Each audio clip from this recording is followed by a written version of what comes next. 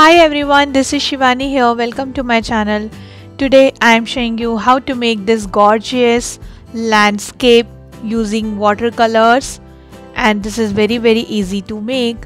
So let's draw with Shivani.